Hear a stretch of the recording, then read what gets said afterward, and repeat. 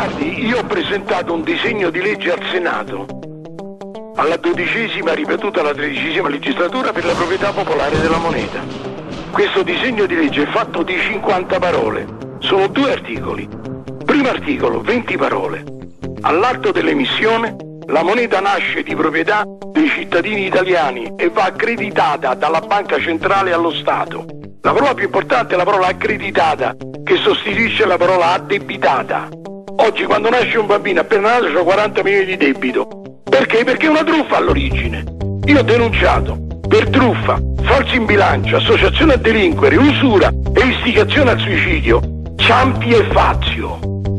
E allora sono stato invitato a fare una conferenza all'hotel delle quattro stagioni a Rieti. Ed è venuto il direttore della Banca d'Italia locale, è venuto al microfono. Dico i testimoni, presenti il senatore Natali di Ascoli il senatore Belloni di Rieti. 200 persone in sala. Viene al microfono il direttore della Banca d'Italia e dice professor le devo fare rimprovero perché lei ha insinuato che noi della Banca d'Italia siamo dei delinquenti. E ho detto guardi che è assolutamente falso. Io non ho insinuato, io ho affermato che voi siete dei delinquenti. E se lei si ritiene offeso, lei mi deve denunciare per calunnia. Perché se lei non lo fa vuol dire che quello che ho detto è vero. Qua la lotta è mortale. O devo andare in galera io per calunnia, o devo andare loro in galera per truffa. Se no è inutile che parliamo dello Stato di diritto. Prendiamo atto che ci troviamo in un regime di usura.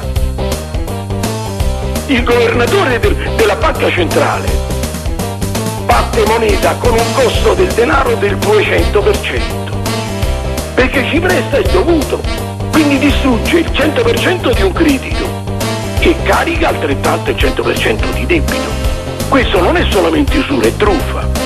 E io gliel'ho dimostrato e quando sono stato chiamato dal procuratore della Repubblica di Roma Ettore Torri, mi ha chiamato, mi ha detto professor Riti, lei ha dimostrato l'elemento materiale del reato. Manca il dolo perché è stato sempre così. E allora ho detto scusi, e ho detto eccellenza, prima di tutto faccio notare che la continuazione del reato è un aggravante, non è un esimente. Quindi mi dice è stato sempre così. Poi il secondo punto, io ammetto la buona fede, per carità, però dobbiamo chiarire fino a quando non ti ho fatto la denuncia. Dopo che ti ho fatto la denuncia come la mettiamo? Qua il reato seguita e io ho fatto la denuncia l'8 marzo del 93 insieme a un pugno di miei studenti. Siamo andati alla Procura della Repubblica e abbiamo firmato perché io penso che la migliore lezione che possa dare un professore ai suoi studenti è l'esempio. E quando uno dà questi esempi esercita la sua dignità e la dignità gratuita non esiste. Quando io ho fatto la causa contro la Banca d'Italia per avere l'accertamento di chi è la proprietà della moneta, mi hanno dato tot e mi hanno condannato a 10 milioni di spesa che è stata trattenuta su iniziativa della Banca d'Italia, le spese di causa, sul mio stipendio. Io ho preso il foglio con cui mi notificavano il pignoramento dello stipendio e l'ho messo nella bacheca dell'università.